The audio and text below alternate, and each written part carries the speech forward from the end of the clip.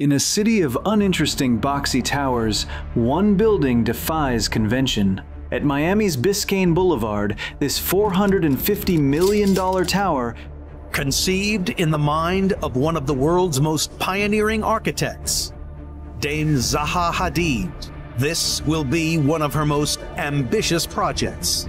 On the 31st of March, 2016, the team received the devastating news We're actually, you know, creating a legacy building for the architect herself. But the problems had only just begun. On September 10th, 2017, Hurricane Irma tears through Miami with winds exceeding 100 miles per hour. How did the developers keep Zaha's final vision alive? This is the story of Miami's 1000 Museum, Zaha Hadid's final masterpiece. Watch full video on our YouTube channel to know more.